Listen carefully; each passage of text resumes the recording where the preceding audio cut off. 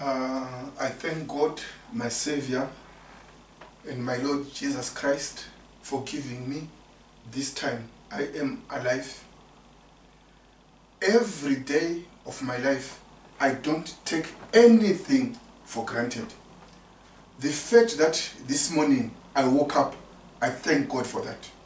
And I hope you are also going to be very grateful that you are alive. The fact that you can still be breathing, it's a sign that God loves you. As I always say, you go to the hospital, someone is breathing using respiratory systems which are designed by doctors. But you can breathe. Someone is grasping just for oxygen. Someone cannot even drink just water. You are having it. So thank God for that. Someone is not even eating food, but you are eating. Thank God for that. Someone is not even driving. They don't even have sight. They can't hear, they can't smell. But you have them. Thank God for that. So now, today I want to show you something again from the Word of God. Concerning the accuracy of the Word of God. I've told you that in these last days, Satan is attacking the Word of God using people who are holding the Bible, so called pastors. Those are the people who are attacking the Word of God. It is my honest confession that today a drunkard is one of the most soberest people when it comes to disturbing the Word of God. A typical drunkard, a typical prostitute, a typical sinner is the easiest person to convert to the Word of God. The people who are destroying the Word of God are people who are carrying Bibles. How are they doing it? Through twisted preaching. Twisting the Word of God. Giving a false word. Reading scripture but twisting it in interpretation. So now, this Sunday, I want to deal with an issue which is rampant in the whole world. I want to ask you a question. Did God create certain people for hell?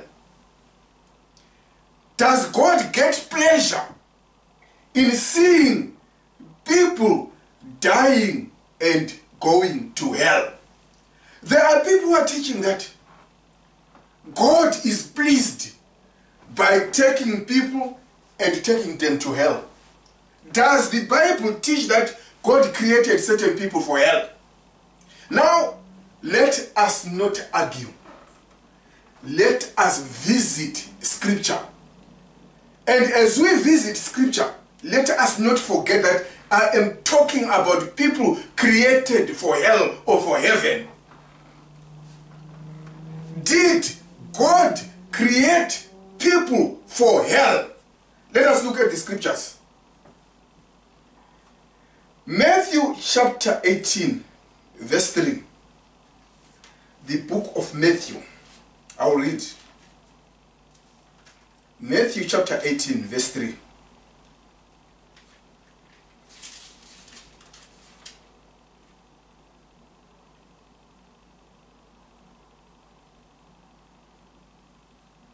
Matthew chapter 18, verse 3.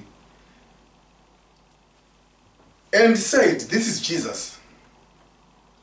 Verily I say to you, except you be converted and become as little children, you shall not enter into the kingdom of heaven. I will read again. And Jesus said, I say to you, except you be converted and become as little children, you shall not enter into the kingdom of heaven. Here is my case.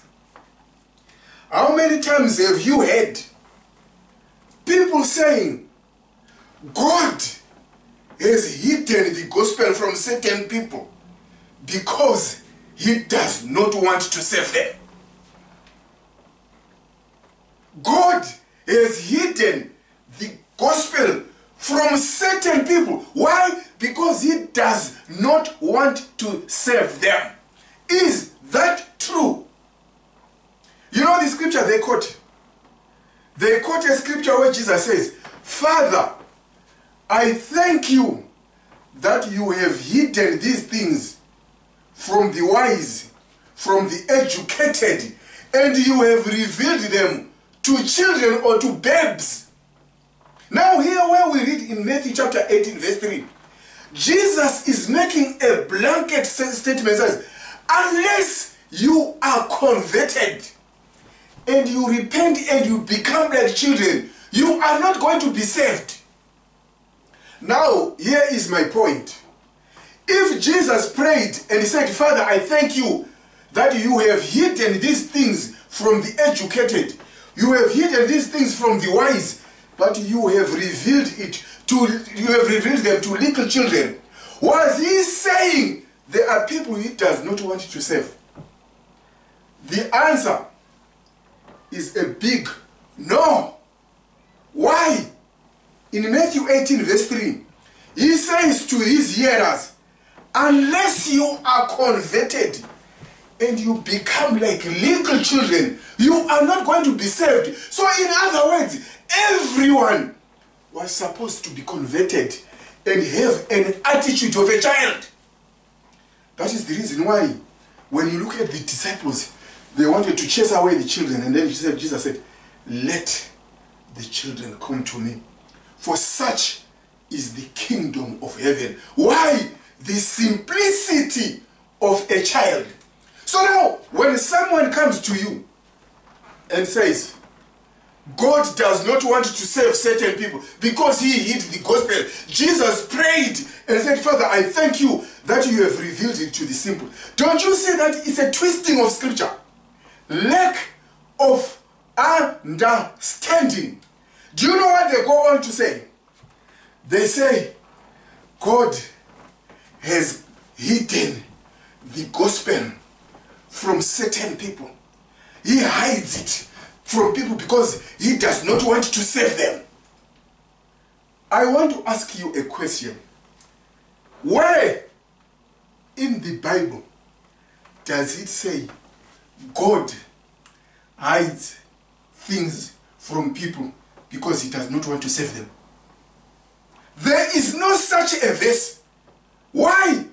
The Bible says God wants all men to be saved. Can I show you something? Who hides the word? Second Corinthians chapter 4. The Apostle Paul's letter to the Corinthians, the second letter, Second Corinthians chapter 4. Who hides the gospel so that people are not saved? Is it God? No!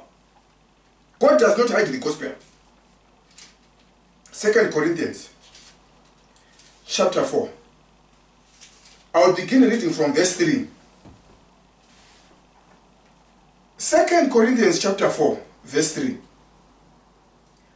But if our gospel be hid, it is hid to them that are lost.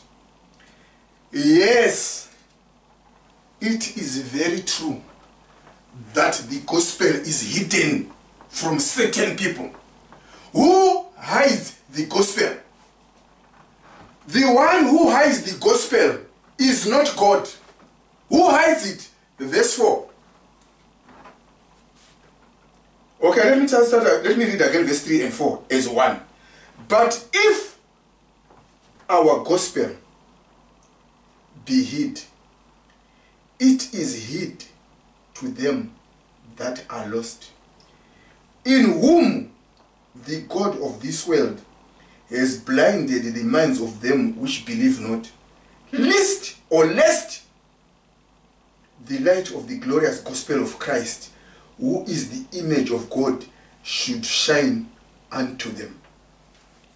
First Corinthians chapter 4. Oh, 2 Corinthians chapter 4, verse 4. Satan is the one who hides the gospel. When a preacher comes to you and tells you that God is the one who hides the gospel, he is deceiving you. Why? God wants everyone to be saved. The person who hides the gospel so that people cannot be saved is the devil, not Jesus Christ. Second Corinthians chapter 4, verse 3 and 4. I will read again so that I can show you why the gospel is hidden. It is not hidden because God does not want to save people. That is the opposite. Second Corinthians chapter 4, verse 3. Again, I will read until it sinks. Listen to this. If our gospel be hid, it is hidden to them that are lost. We agree that the gospel is hidden. Who hides the gospel? Verse 4. In whom the God of this world has blinded the minds of them which believe not. Who is the God of this world? Is it Jesus? No! It is the devil. So it is not true to propagate a gospel which says God hides the gospel from certain people because he doesn't want them to be saved. That's from the devil. God wants everyone to be saved. Second Peter chapter 3. Second Peter chapter 3. God wants everyone. I underline the word everyone to be saved. Second Peter chapter 3. I'll give you the verse. Second Peter chapter 3, verse 8. Listen to this.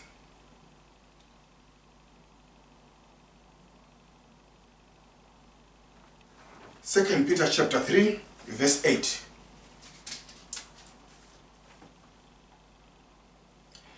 But beloved,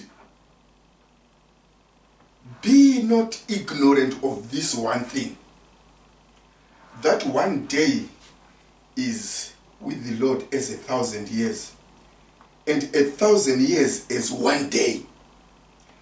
The Lord is not slack concerning his promise, as some men count slackness, but is long suffering to usward, not willing that any should perish, but that all should come to repentance. God is not willing that any should perish. Underline the word any should perish. Any should perish. And then he says he wants all to come to repentance. Show me from the Bible where it says God has hidden the gospel from certain people because he wants to take them to hell. There is no such a verse. But do you know what?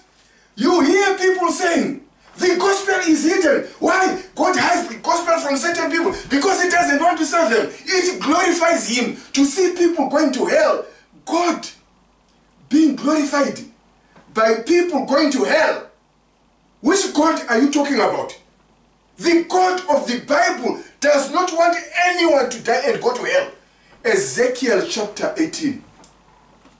Ezekiel chapter 18. God is not glorified when you see someone dying and going to hell. One person. Ezekiel chapter 18. The book of Ezekiel chapter 18. God is not glorified by the death of one sinner. One. Ezekiel 18, verse 20.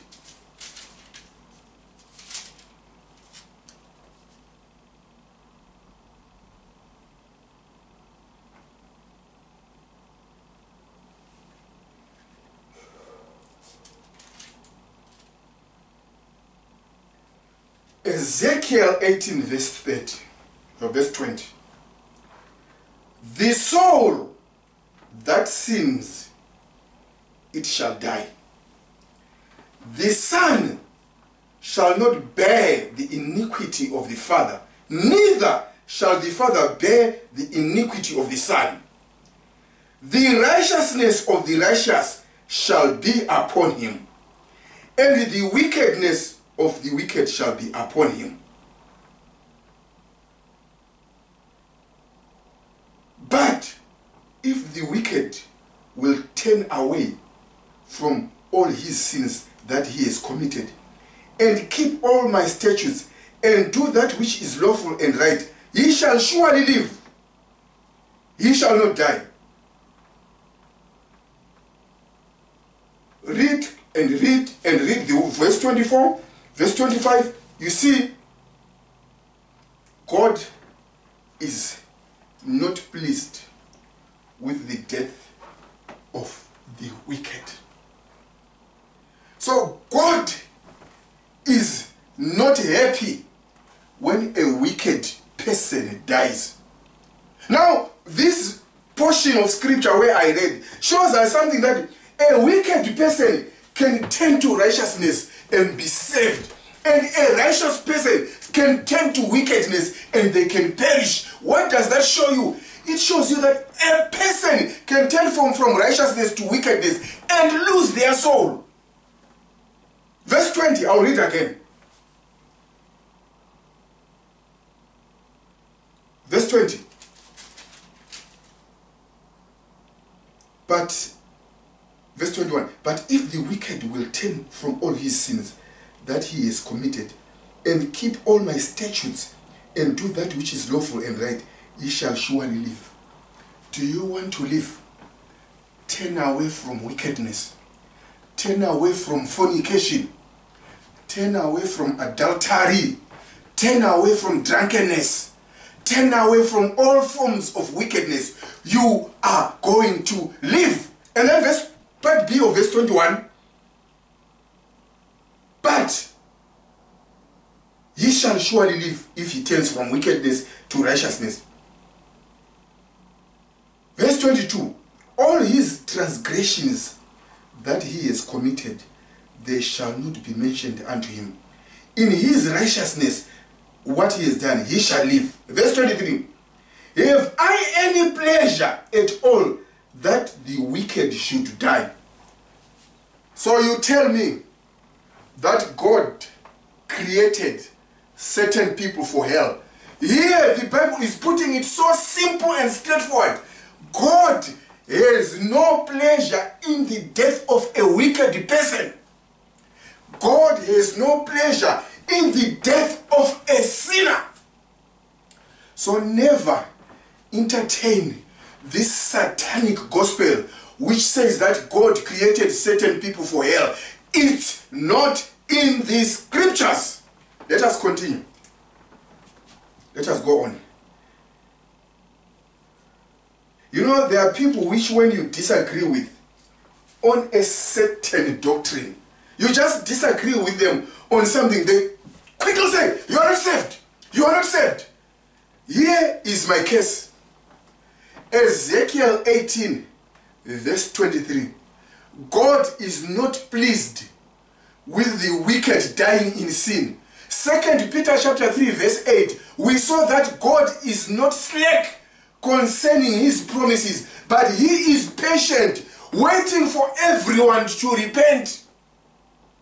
So it is God's desire that every human being must repent.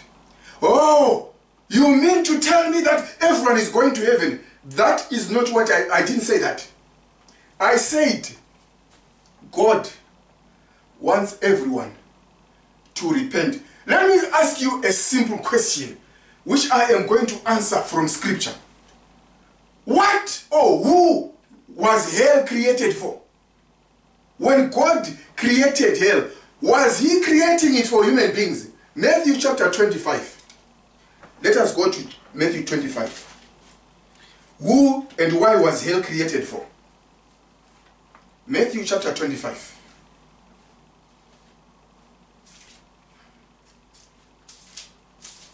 Hell was not created for human beings. It was created for Satan and his demons. Verse 41.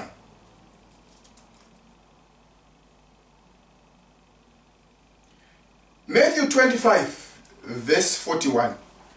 Did God create hell for men? The answer is a big no. Hell was not created for any human being. One single human being was not created for hell. What was hell created for? Matthew 25, verse 41. Then shall he say also to them on the left hand, Depart from me, you cursed, into everlasting fire, prepared for the devil and his angels. What was hell prepared for? For the devil and his angels. What was hell prepared for? Matthew 25, verse 41. For the devil and his angels. Does it say, Depart from me, you workers of iniquity, and go to hell, prepared for Satan, his angels, and human beings who disobeyed? No, only two classes of species Satan and his demons, not any human being. So hell was not created for any human being. So you mean to tell me that people are going to go to heaven, all of them? That's not what I said. You decide on your own when you want to go to heaven that God, I want Jesus. Save me. Yes, you decide for yourself. If the Holy Spirit convicts you. You see, Jesus said, It is good that I go away. And then after I am gone, I am going to send another. He will convict the world of sin. So every human being is going to be convicted by the Holy Spirit. After conviction, are you going to say, Yes, Lord, or no? Do you know, in my country, there is a song we sing which says, The heavens declare the greatness of God. On Judgment Day, not even one single person is going to say, I never heard the gospel.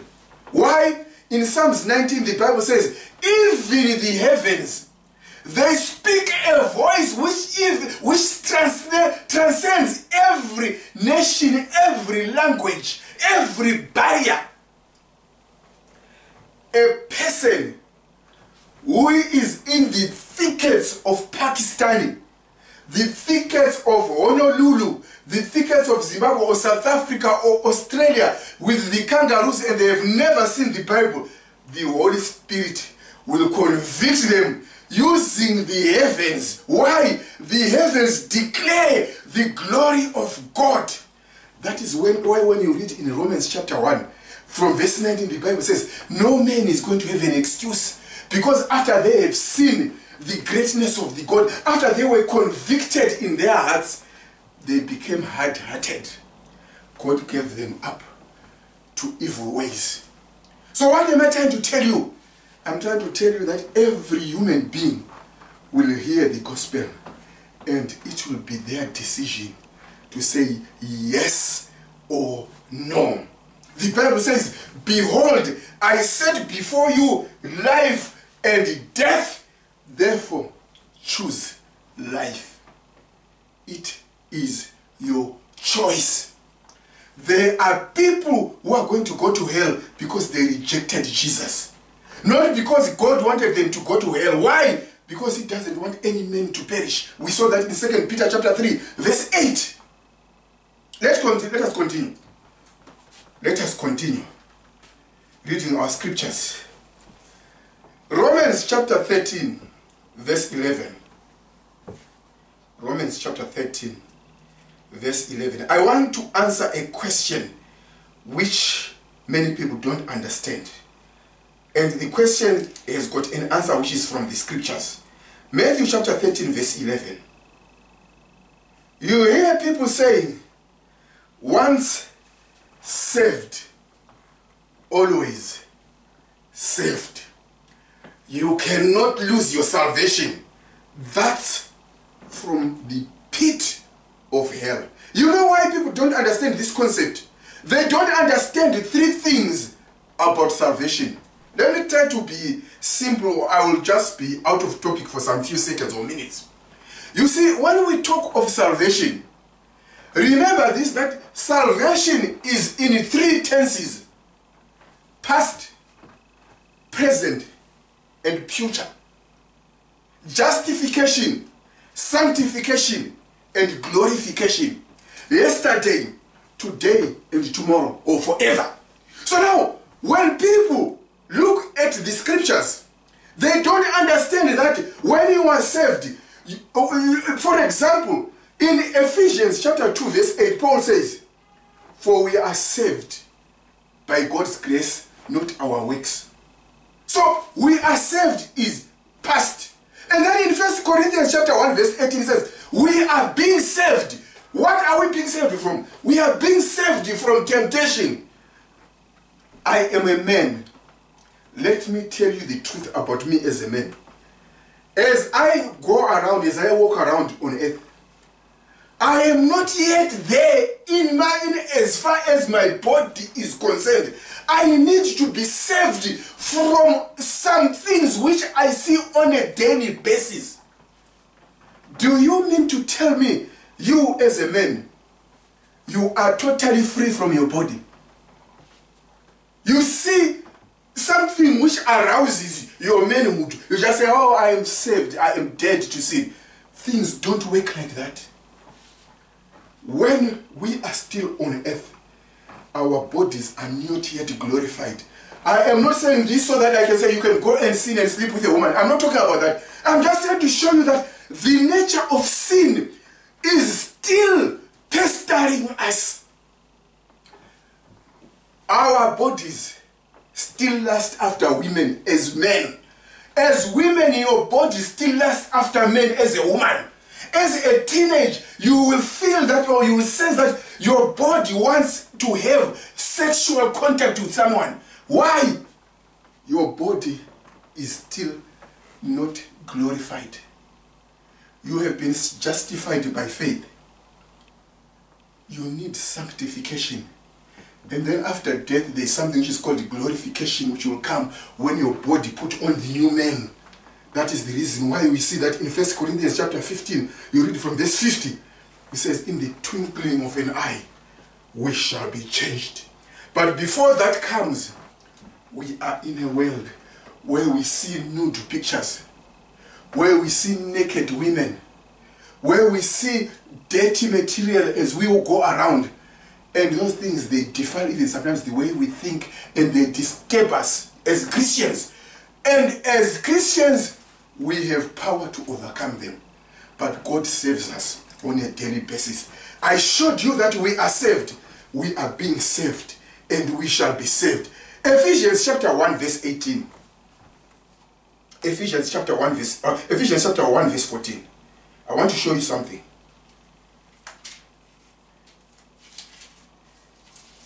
The Ephesians 1 verse 14.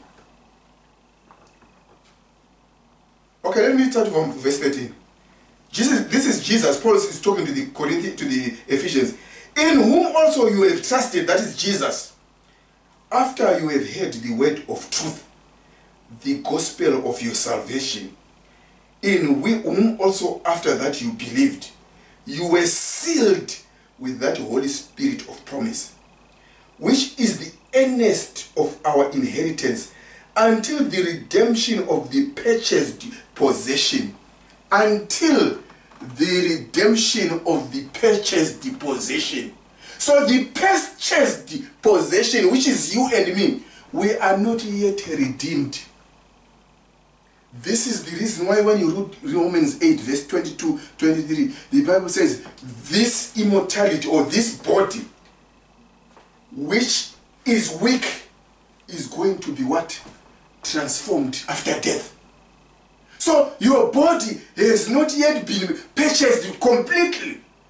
You walk in a world where there is lust. You walk in a world where if you spend days without having your partner, if you are married, you know what I am talking about. Why our bodies still need to be saved. That's why you see that you need to be saved from temptation. That's why you hear Jesus saying, Deliver us.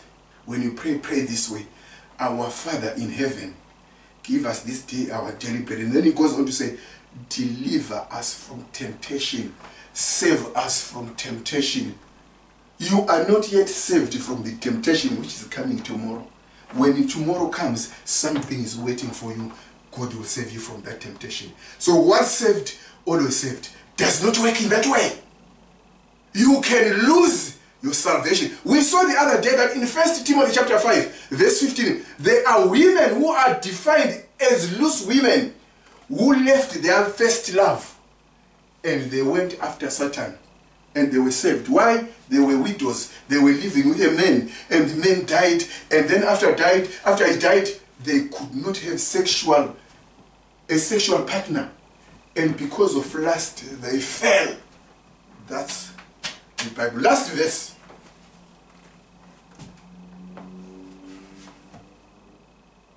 Two Chronicles chapter 15.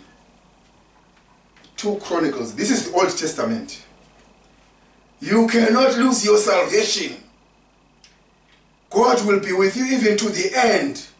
Let's hear what Second Chronicles says. Chapter 15.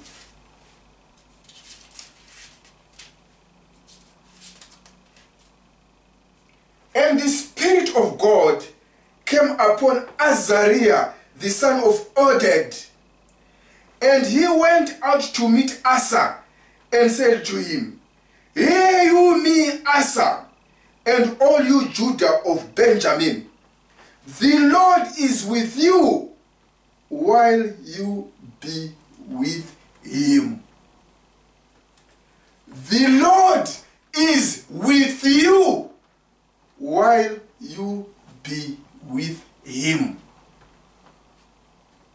In my language, we say, unkulunkulu abe nawe uma unaye. What does that mean? The Lord be with you while you be with him. Let's continue reading. This is exciting. Verse 2. The Lord be with you while you be with him.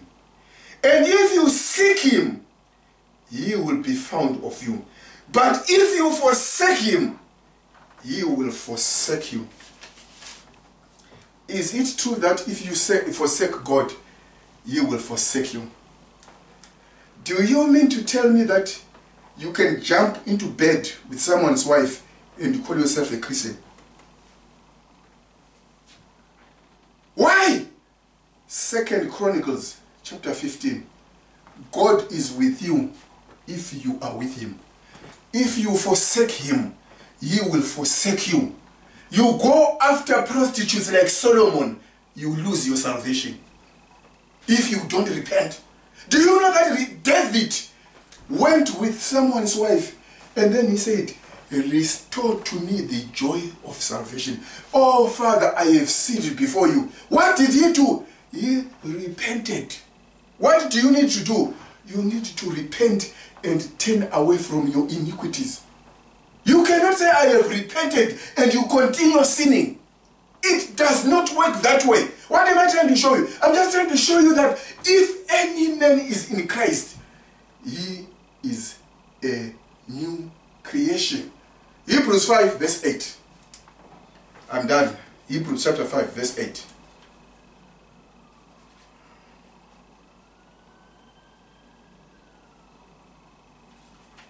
Hebrews 5, 8.